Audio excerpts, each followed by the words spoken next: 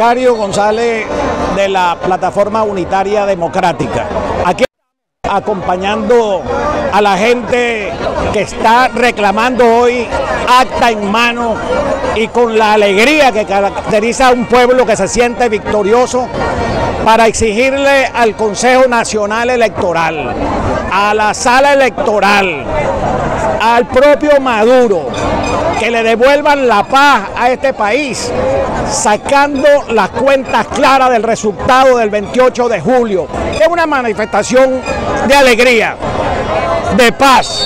por supuesto también de indignación, porque han pasado ya 19 días y el pueblo no sabe lo que pasó con su voto. Ellos no hablan de empoderamiento del pueblo, de que el pueblo es el que decide y la constitución dice la soberanía popular es intransferible y la ejerció el 28 de julio. Pedimos el resultado de esas elecciones y eso es lo que está pacíficamente pidiendo el pueblo eh, en el día de hoy, con alegría,